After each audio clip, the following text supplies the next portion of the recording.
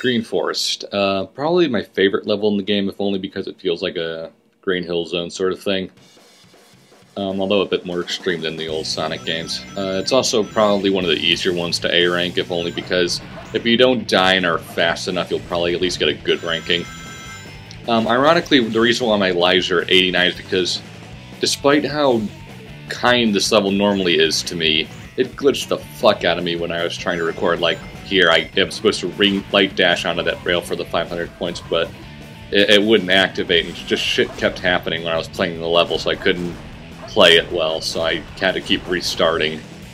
Normally these are all in one take, but I had to restart a couple of them due to glitchiness, and which is, of course, only happens whilst I'm recording. and that loop is physically possible to run through, but you have to have a very specific angle, so Johnny, you can do it. Golden Beetle right here, easy combo with rings. Yeah. So many easy chances for points in this level, provided you know where they are. and this is also the last game where the spin dash was actually useful, at least in 3D games. I miss how the spin dash used to be useful. Let's see, uh, an utterly pointless light dash there, I don't know why I did that.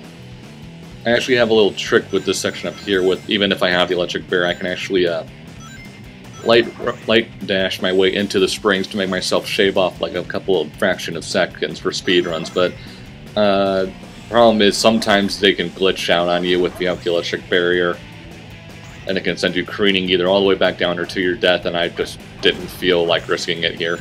Especially after all the glitchiness and previous playthroughs of this trying to record it, so I just didn't bother.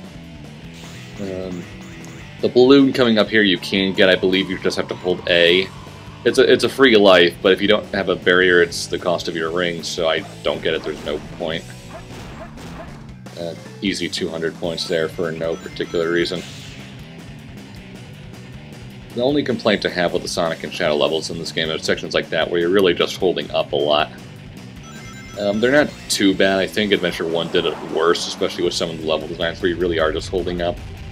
At least this game had a lot more platforming sections, but I don't know why that gives you a thousand points, but it does, so I'm not complaining.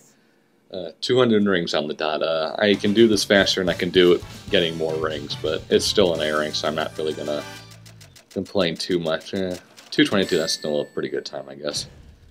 17,030 points, I've gotten upwards of 19,000. But, oh well.